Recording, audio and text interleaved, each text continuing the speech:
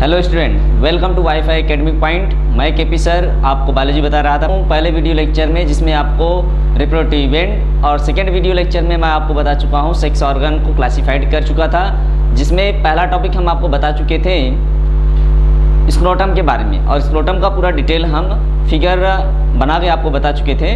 तो यहाँ पे अब हम फिर से देखेंगे, आगे का स्टेप देख रहे हैं कि टेस्टिस हम आपको वहाँ पे बता चुके थे कि टेस्टिस टेस्टिस के बारे में हम बता चुके थे। टेस्टिस का स्ट्रक्चर भी बनाए थे। आज फिर से हम देख रहे हैं टेस्टिस के बारे में ज़रा आप रिमेंबर करें और बताएँ, इस पार्ट को क्या बोलते हैं? ये टेस्टिस था। टेस्टिस का स्ट्रक्चर सेकेंड वीडियो लेक्चर में हम बना चुके थे। और वहाँ पे हम आपको बताए थे, ये टेस्टिस है और टेस्टिस स्क्रोटम से अटैच होता है एक स्ट्रक्चर से। उस स्ट्रक्चर का नाम पहले आप बताएँ, फिर मैं बताता हूँ। चले देखते हैं। ये गुब्रेना कुलम है और यहाँ पे आके अटैच हुआ था इग्वेनल कैनाल से स्पर्मेटिड कार्ड से और ये इग्वेनल कैनाल पे एक मेम्ब्रेन था जिसे इग्वेनल मेम्ब्रेन कर रहे थे और ये स्क्रॉटम था। तो एक बार हम इसको पूरा डिटेल देख चुके हैं। तो अब हम बात करेंगे एनसीईआरटी पे आते हैं, यहाँ पे देखते हैं कि टेस्टिस क्या होता है, इसके बारे में थोड़ा स्टडी करते हैं हम। तो एनसीईआरटी में बताया गया है कि टेस्टिस जो है वन पेयर होता है मीन्स इसका नंबर कितना होता है? दो होता है। एक यहाँ पे टेस्टिस एक यहाँ पे टेस्टिस और ये, इसमें भी ये सेम स्ट्रक्चर है। तो इसका नंबर कितना हो गया? एक हो गया सॉरी वन पेयर हो गया और नंबर कितना हो गया? दो हो गया। तो साइज़ की बात करें टेस्टिस की जो लेंथ है टेस्टिस की लेंथ ये लेंथ कितनी है? ये लेंथ एनसीईआरटी के according four to five centimetre है।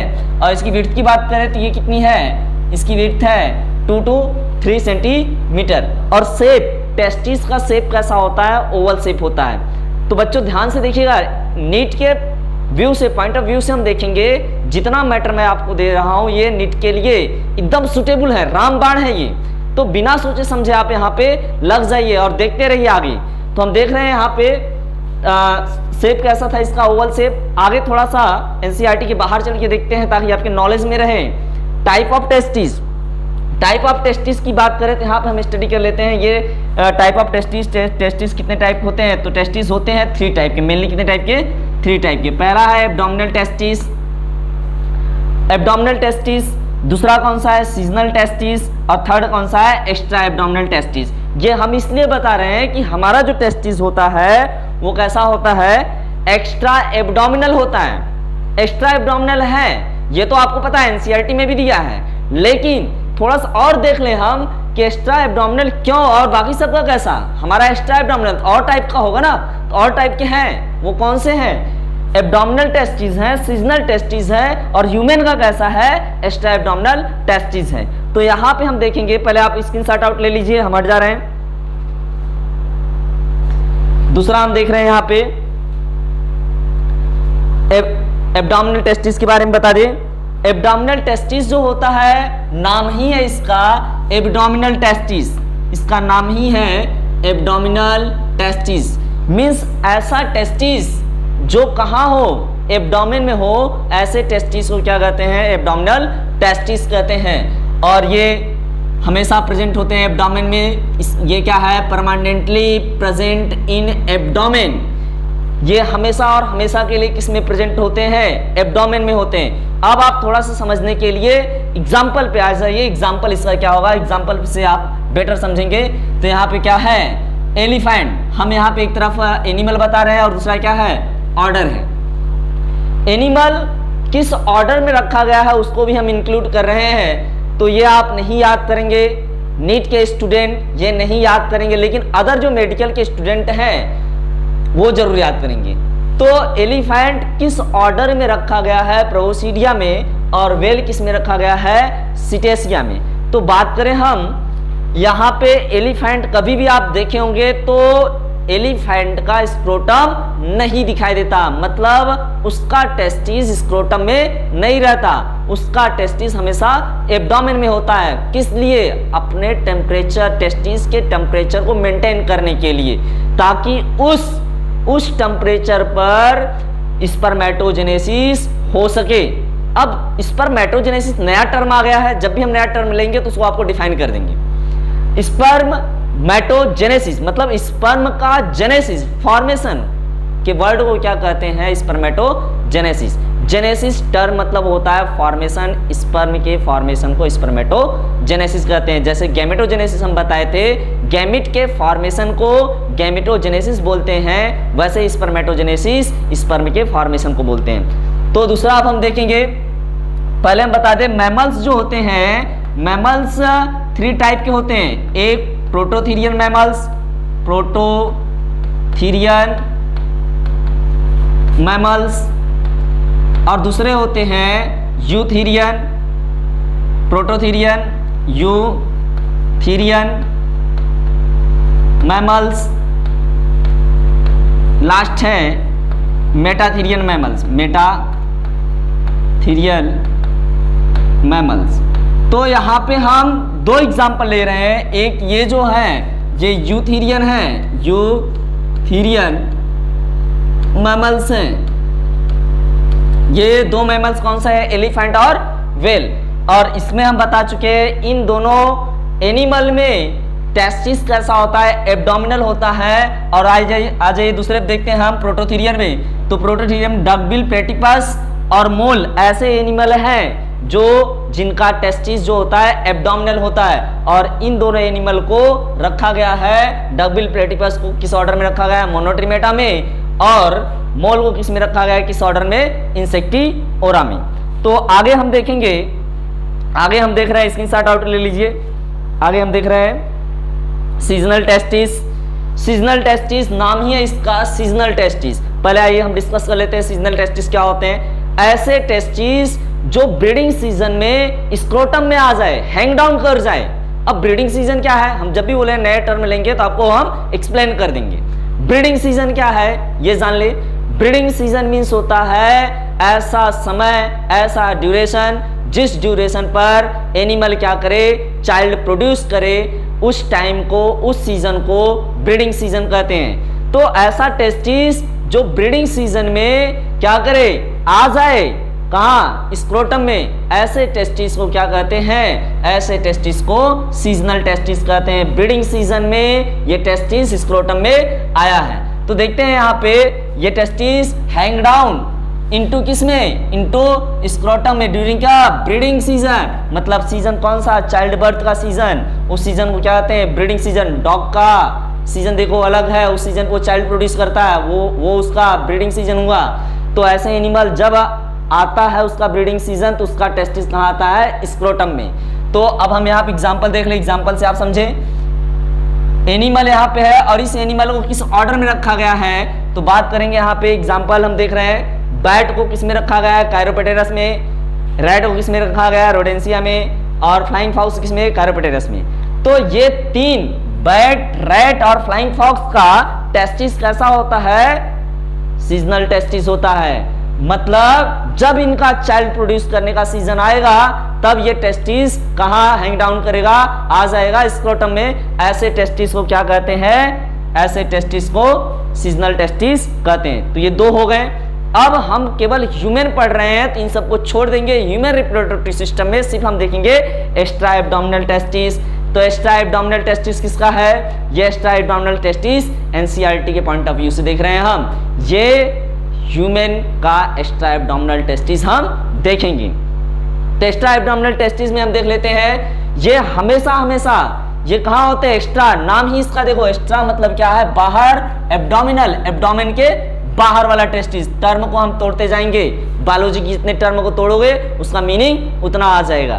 तो हम क्या देख रहे हैं यहाँ पे? एक्स्ट्रा मतलब बाहर एबडोमिन के बाहर पाया जाने वाला टेस्टिस ये टेस्टिस कहाँ है? एबडोमिन के बाहर स्क्रोटम में है। ऐसे टेस्टिस को क्या कहते हैं? एक्स्ट्रा एबडोमिनल टेस्टिस कहते हैं एबडोमेन के बाहर। और ये कहाँ है? हैंग डाउन इनटू स्क्रोटम में। स्क्रोटम हम पहले ही बताए थे, ये स्क्रोटम किससे अटैच होता है? हमारे बॉडी के तीन पार्ट है head neck thorax abdomen last वाला जो होता है, उसे क्या कहते हैं? पेल्विस तो स्क्रोटम किससे अटैच होता है? स्क्रोटम अटैच होता है पेल्विक वाले रीजन से, न कि हेड वाले रीजन से। ध्यान दीजिएगा। तो पैल्विक वाले रीजन से स्क्रोटम अटैच है। तो यहाँ पे स्क्रोटम अटैच टू किससे attach to the pelvic region से अटैच है? ये किससे अटैच है? पैल्विक रीजन से अटैच है। नेक्स्ट हम बात करेंगे टेम्परेचर एनसीईआरटी में जो दिया गया है, इसका टेम्परेचर कितना है? टू टू दो से ढाई degree Celsius lower than the किससे? Lower than the normal internal body temperature हमारे बॉडी टेम्परेचर कितना होता है? 37 डिग्री सेल्सियस और इससे दो डिग्री सेल्सियस कम टेस्टिस का टेम्परेचर होता है। क्यों? क्योंकि इस टेम्परेचर पर स्पर्म का फॉर्मेशन होने के लिए टेम्परेचर चाहिए। तो स्पर्मेटोजेनेसिस के लिए ये टेम्परेचर ज़रूरी है। क्यों? यहाँ पे दिया गया है due to proper development of sperm अगर ये टेम्परेचर नहीं रहेगा तो स्पर्म का फॉर्मेशन नहीं होगा। अब हम एग्ज़ाम्पल देख लें तो इसका एग्ज़ाम्पल क्या होगा? Most of the animal mammals जितने मैमल्स हैं, सभी एनिमल्स की बात नहीं कर रहे हैं, जितने मैमल्स हैं, ज़्यादातर सबका कैसे हैं? सबका टेस्टिस एक्स्ट्रा एब्डोमिनल है, उसमें इंक्लूडिंग ह्यूमन ह्यूमन को लेकर। अब हम देखेंगे यहाँ पे एक स्ट्रक्चर देख लेते हैं टेस्टिस का। एक स्ट्रक्चर देखेंगे यहाँ पे। पहले मैं स्ट्रक्चर दिखा दूँ। ये स्ट्रक्चर है इंटरनल स्ट्रक्चर तो ध्यान से देखिएगा। इंटरनल स्ट्रक्चर जो है आपको दिखाई दे रहा है और मैं यहाँ पे आपको बता चुका हूँ टेस्टिस का स्ट्रक्चर यहाँ पे हम बता चुके हैं कि टेस्टिस कहाँ प्रेजेंट है टेस्टिस प्रेजेंट है, किसमें? स्क्रोटम में। अब इसी टेस्टिस का ये इमेज हम इंटरनल स्ट्रक्चर आपको दिखा रहे हैं। हो सकता है ये इमेज आपको कम समझ में आए, इसलिए हम थोड़ा सा एक्स्ट्रा अपना इमेज बना के, हम खुद अपने हाथ से बना के दिखा रहे हैं ताकि आपको ज़्यादा समझ में आए। तो यहाँ पे हम देखेंगे, ये टेस्टिस यहाँ पे कई सारे पार्ट हैं, आप देख रहे हैं। ये क्या है? ये सबसे आउटर मोस्ट लेयर है। और ये क्या है? ये आउटर मोस्ट लेयर को ट्यूनिका वेजिनेलिस बोलते हैं। नेक्स्ट क्या है यहाँ पे? Outer most layer tunica vaginalis फिर दूसरा लेयर हम बात करेंगे ट्यूनिका अल्बुजिना लास्ट लेयर जो होगा ट्यूनिका वेस्कुलेरिस होगा। तो ट्यूनिका वेस्कुलेरिस ही फोल्ड करके क्या बना रहा है? यहाँ पे कंपार्टमेंट बना रहा है। इस कंपार्टमेंट को क्या कहते हैं? सेमनीफेरस ट्रिब्यूल कहते हैं। यहाँ से आपको कम समझ में आएगा, यहाँ से आप क्वेश्चन नहीं कर पाएँगे, लेकिन जो हम फिगर बनाएँगे, उस फिगर को देख के आप नीट का क्वेश्चन सॉल्व कर जाएँगे। इसलिए इस फिगर को एक बार आप देख लीजिए। सभी पार्ट यहाँ पे हैं। हेड ऑफ़ एपिडेमिस ये एपिडेमिस है। ये वाला पोर्शन जो है, ये एपिडेमिस है। ये एपिडेमिस एपिडेमिस के तीन पार्ट हैं। एक हेड है, एक मिडिल पोर्शन है। हेड को कार्पस काउडा कार्पस और ये हो गया कैपुट ये मिडिल पीस कार्पस और इसे क्या कहते हैं? काउडा कहते हैं। काउडा वाले रीजन से क्या निकलता है? वासा डिफरेंस निकलता है। तो आइए देखते हैं पहले हमारे हाथ से बनाया हुआ इमेज और अगले लेक्चर में हम आपको इसी का वीडियो से सम, इसी को इसी लेक्चर को हम वीडियो के थ्रू समझाएँगे ताकि आपको प्रॉपर समझ में आ जाए जो बहुत कम ड्यूरेशन का होगा। तो हम देख रहे हैं यहाँ पे यहाँ पे हम देखेंगे। स्ट्रक्चर बना के हम दिखा रहे हैं आपको टेस्टिस का। टेस्टिस पहले हम बताए ये कैसा होता है? ओवल शेप होता है। ये ओवल शेप है। इसके आउटर मोस्ट लेयर की बात करें, ये सबसे आउटर मोस्ट लेयर जो इनकम्प्लीट है मिडिल लेयर कंप्लीट है। और वहीं पे हम बात करें इनर मोस्ट लेयर की बात करें तो इनर मोस्ट लेयर क्या होता है? ये फोल्ड कर जाता है। फोल्ड करके क्या बना रहा है? कंपार्टमेंट बना रहा है। ये कंपार्टमेंट आप देख रहे हैं, ये क्या बना रहा है? ये पिंड बना रहा है कंपार्टमेंट बना रहा है सेमनीफेरस टिब्यूल का फॉर्मेशन कर रहा है। तो आइए नाम देख लेते हैं हम सबका। यहाँ पे नाम देखा जाए तो सबसे बाहर वाला जो लेयर है, इसे क्या कहते हैं? ट्यूनिका इसे ट्यूनिका वेजी वेजी नेलिस बोलते हैं। ट्यूनिका वेजिनेलिस बोलते हैं। वेजी नेलिस बोलते हैं। नेक्स्ट मिडिल लेयर जो है उस मिडिल लेयर को क्या कहते हैं? Tunica albuginea tunica albuginea albuginea और लास्ट इनर मोस्ट लेयर जो है, इसे क्या कहते हैं? Tunica vascularis tunica vascularis tunica tunica vascularis vascularis tunica vascularis से बोलते हैं। और ट्यूनिका वेस्कुलेरिस ही फोल्ड करके कंपार्टमेंट बना रहा है। उस कंपार्टमेंट को हम क्या कहते हैं? इस कंपार्टमेंट को हम बोलते हैं सेमनीफेरस ट्यूब्यूल। इसके बारे में हम डिटेल स्टडी करेंगे। सेमनी टेस्टिकुलर लोब्यूल्स सॉरी इसे क्या कहते हैं? इसे कहते हैं टेस्टिकुलर लोब्यूल बोलते हैं। इसे बोलेंगे टेस्टिकुलर लोब्यूल्स टेस्टिकुलर लोब्यूल्स बोलते हैं। और इस टेस्टिकुलर लोब्यूल्स का जो नंबर है, इस टेस्टिस में, प्रत्येक टेस्टिस में कितना होता है? इसका कितना होता है? 200 से लेके कितना?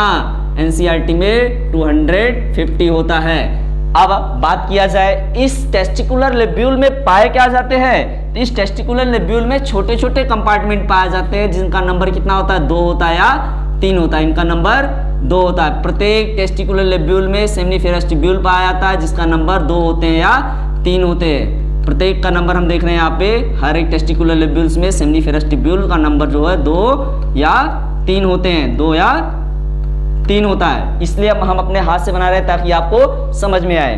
तो यहाँ पे हम बात करें, इसका नाम भी देख लें। इसका नाम क्या है? इसका नाम है सेमिनिफेरस ट्यूब्यूल इसका नाम है सेमिनी फेरस ट्यूब्यूल ये सेमिनिफेरस ट्यूब्यूल्स की बात करें तो इसका नंबर हर एक टेस्टिकुलर लेब्यूल्स में इसका नंबर दो से तीन होता है ईच टेस्टिकुलर लोब्यूल में। अब बात करें, यही सेमनीफेरस ट्यूब्यूल जो है, यही स्ट्रक्चरल एंड फंक्शनल यूनिट है किसका? टेस्टिस का, यहीं पे स्पर्म का फॉर्मेशन होता है। अब बात करें यहाँ पे यहाँ पे बात किया जाए तो स्पर्म बनने के बाद इस सेमनीफेरस ट्यूब्यूल से निकलता है जिस नली से, जिस ट्यूब से निकलता है, उस ट्यूब को क्या कहते हैं? उस ट्यूब को टेस्टिकुलर रेक्टी कहते हैं। उसे क्या कहते हैं? टेस्टिकुलर टेस्टिकुलर रेक्टी कहते हैं, जो एनसीईआरटी में नहीं है। आगे देखेंगे, यही टेस्टिकुलर रेक्टी जो होता है क्वालिड हो जाता है, तब इसे क्या कहते हैं? रेटी टेस्टिस कहते हैं। ये क्या हो गया? इसे रेटी टेस्टिस कहते हैं। और ये हम फ्लो चार्ट जब बनाए थे तो वहाँ पे इसके बारे में हम बता चुके थे। और यहाँ पे बात किया जाए, जब स्पर्म यहाँ पे बना तो मूव करके कहा आया? टेस्टिकुलर रेक्टी में। और टेस्टिकुलर रेक्टिस कहाँ पहुँचा? रेटी टेस्टिस में। और रेटी टेस्टिस से पतली सी नली निकलती है। उस नली को, उस ट्यूब को क्या कहते हैं? उस ट्यूब को कहते हैं? उस ट्यूब को कहते हैं वासा इफ्रेंसिया इसे क्या कहेंगे? वासा इफ्रेंसिया और ये वासा इफ्रेंसिया टेस्टिस के बाहर आ गया है। और ये ओपन कहा होगा? बात किया जाए ये है कि वासा इफ्रेंसिया इफ्रेंसिया और ये बाहर आ गया है। स्पर्म बना कहा? ट्यूब्यूल में। आया कहा? टेस्टिकुलर रेक्टी में टेस्टिकुलर रेक्टिस कहा? रेटी टेस्टिस में रेटी टेस्टिस कहा गया? वासा इफ्रेंसिया में। और वासा इफ्रेंसिया स्पर्म को लेकर कहा गया? टेस्टिस के बाहर। और टेस्टिस के बाहर एक स्ट्रक्चर पाया जाता है, जिसे आप अगले वाले इमेज में देख चुके थे। इसे की बोलते हैं? इपीडिडेमिस उसे क्या बोलते हैं? उसे बोलते हैं इपीडिडेमिस इसे बोलते हैं इपीडिडेमिस और इपीडिडेमिस के वहाँ पे बताए गए थे, हम बताए अभी। तीन पार्ट होते हैं। ये वाला पोर्शन जो है इसे हेड कहते हैं और ये सॉलिन स्ट्रक्चर इसे क्या कहते हैं? ये हेड हो गया ये मिडिल पीस और ये टेल वाला रीजन और टेल वाले रीजन से निकलता है वासा इफ्रेंसी या वा, वास्ट डिफरेंस तो ये हो गया आपका ईपी डिडेमिस डी ईपी डी डायमिस और इपीडिडेमिस के तीन पार्ट ये वाला हेड ये मिडिल पीस और ये टेल टेल वाले ही रीजन से एराइज होता है, वो क्या है? वास डिफरेंस अब इस लेक्चर को हम वीडियो के थ्रू समझाएँगे आपको. नेक्स्ट वीडियो के थ्रू समझाएँगे नेक्स्ट लेक्चर में. तो नेक्स्ट लेक्चर का हम इंतज़ार करेंगे. जल्द ही वो अपलोड होगा.